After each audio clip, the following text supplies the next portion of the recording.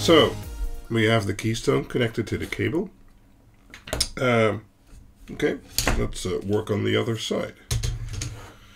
So, normally you'd have a wall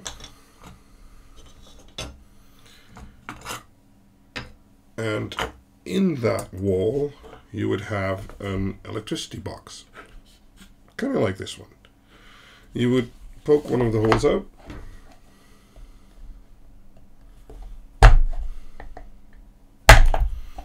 that and this would be mounted in your wall and your cable would come in through it.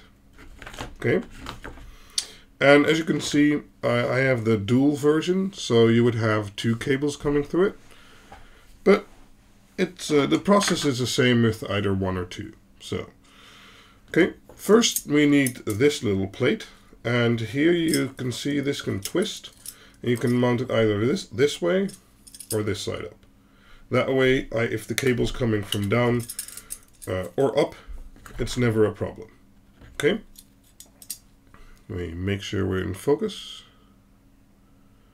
Okay? So in this case let's say it's uh, coming from up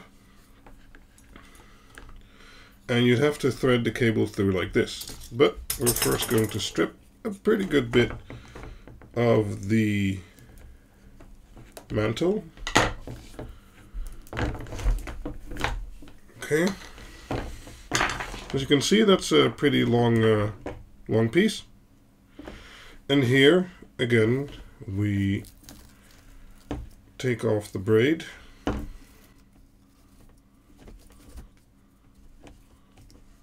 It's okay to lose a few strands in the process, but try to minimize the amount you lose. Okay, then we separate the pairs to find the drain wire. There it is. And then we twist the drain wire with the braid. Trying to keep it all on camera. Sometimes I forget. Okay and then we basically we twist that around our cable. We mostly try and make sure it kind of sticks to each other. There we go. Let's remove these strands. Okay. Next part we take our stripped cable and we thread it through one of the holes in the back. And then we push it through right until the part where you have the braid and the drain wire uh, through the mechanism. Then we screw it down.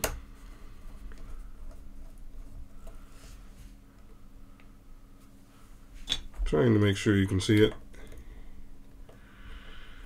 And you also determine the position where the cable needs to come into the, I don't know how you call that, bucket or this, this piece at least. Okay, that's secure, that's good. So then we take our second part and always remember that you want the ports to orient downwards because you want to plug it in like this. And in the end, it will look like this. You could do it this way, but that would just look quite weird on your wall. So I don't advise that. So in here, again, we have the A and the B side. And as you can see, this is made for two cables.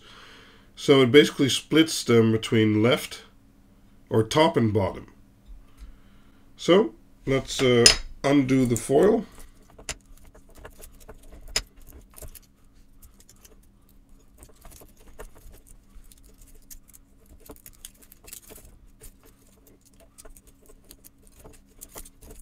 Okay, I'm going to need a few snips again.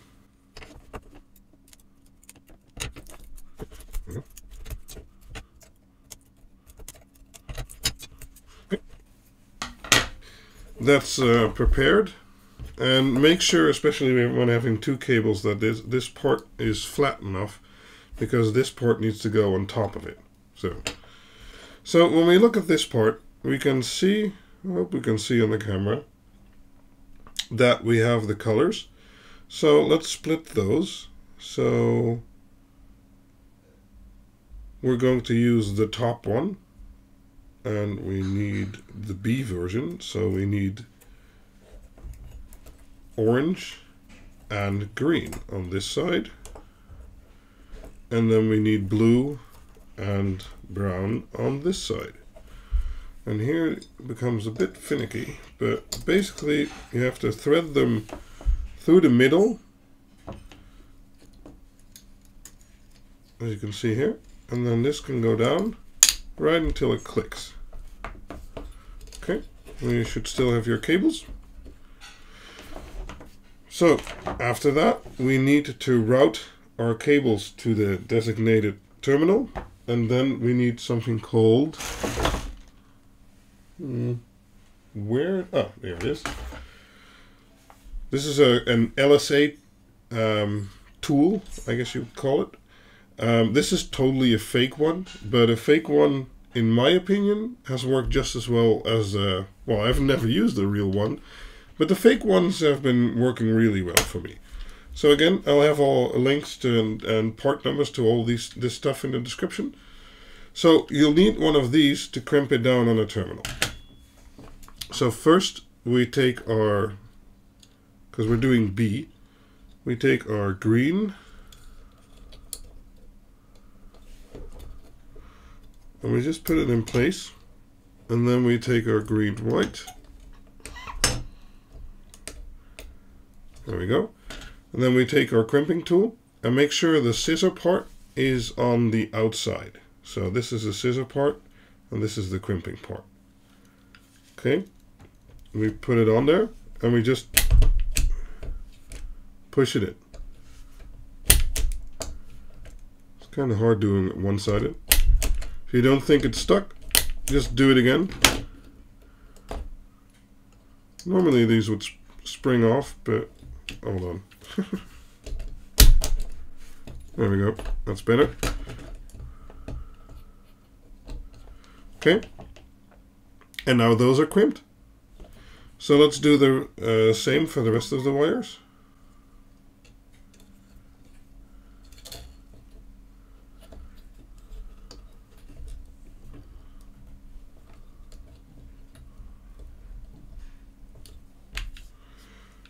Excuse me if I'm in front of the camera.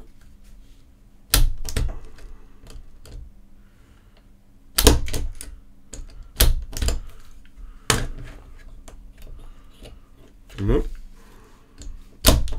There we go. Okay.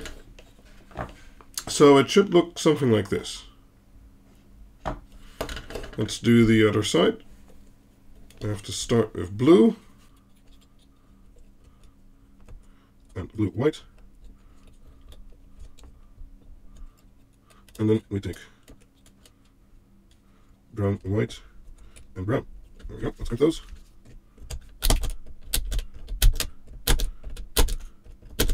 Okay, those were better.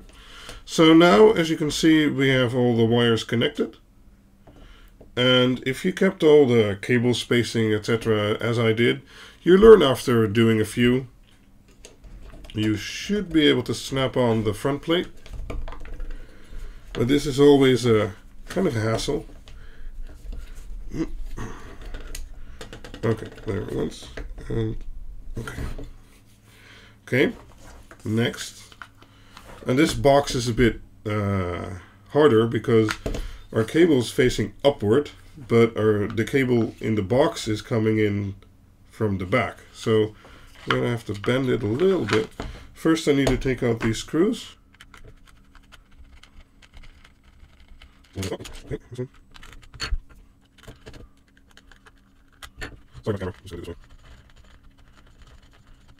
Okay, and then we basically just push it in there.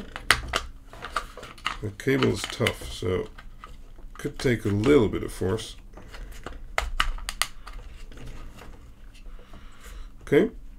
And normally this box would be in the wall, so you align it with the wall, and then you put the screws back in.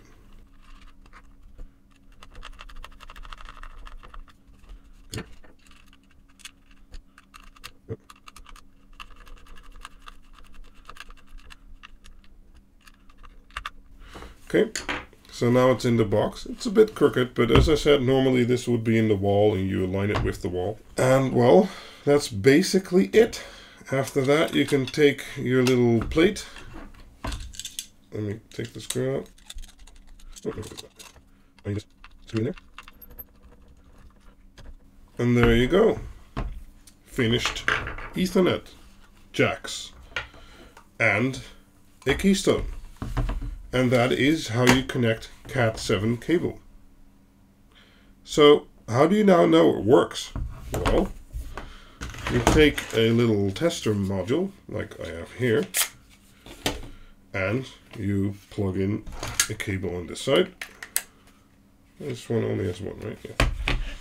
And let's put this one, uh, no, no, no, I can't do that. I'm not sure if it's the left or right one. so, you get another patch cable.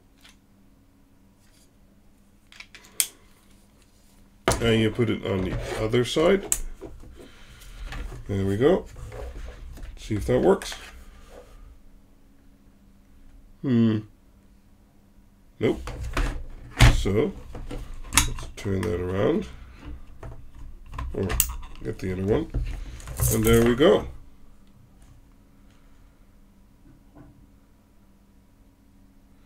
And if everything went correctly, all the pairs work or all the pins work, and you also have the ground connected. So this should now easily be sufficient for gigabit. And with good patch cables and, and making everything not too long, it should also be suitable for 10 gigabit. And who knows in the future. As I said, I'll have links in the description below for all the parts I used and uh, the tools and uh, stuff like that you need. And if you have any questions or you run into problems, let me know in the comments and uh, I'll try and help you. So, catch you in the next video. Bye-bye.